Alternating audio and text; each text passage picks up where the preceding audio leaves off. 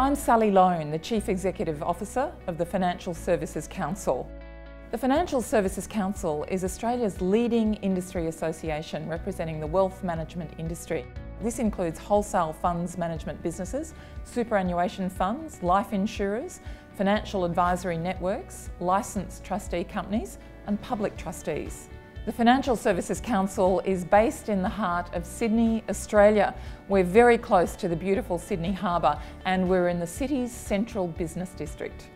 The Financial Services Council has more than 125 members who are responsible for investing more than $2.5 trillion on behalf of 11 million Australians. The pool of funds under management is larger than Australia's GDP and the capitalisation of the Australian Securities Exchange. It's the fourth largest pool of managed funds in the world.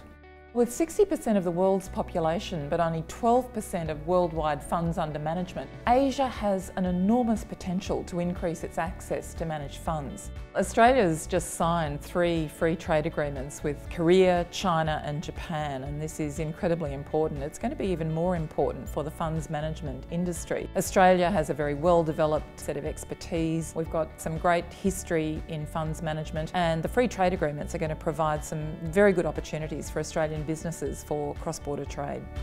China's progressive opening of its capital markets and large population provides a huge growth market for Australian businesses. Korea provides a specific opportunity through its significant sovereign wealth fund and government pension system.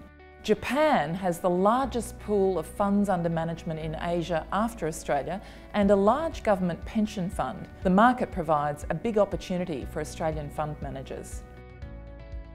Many of our members are part of global businesses and know firsthand the potential in these markets. These agreements promote open markets as they make services and investment more contestable between the parties, cover both services and investment activities and adopt an approach that supports market openings.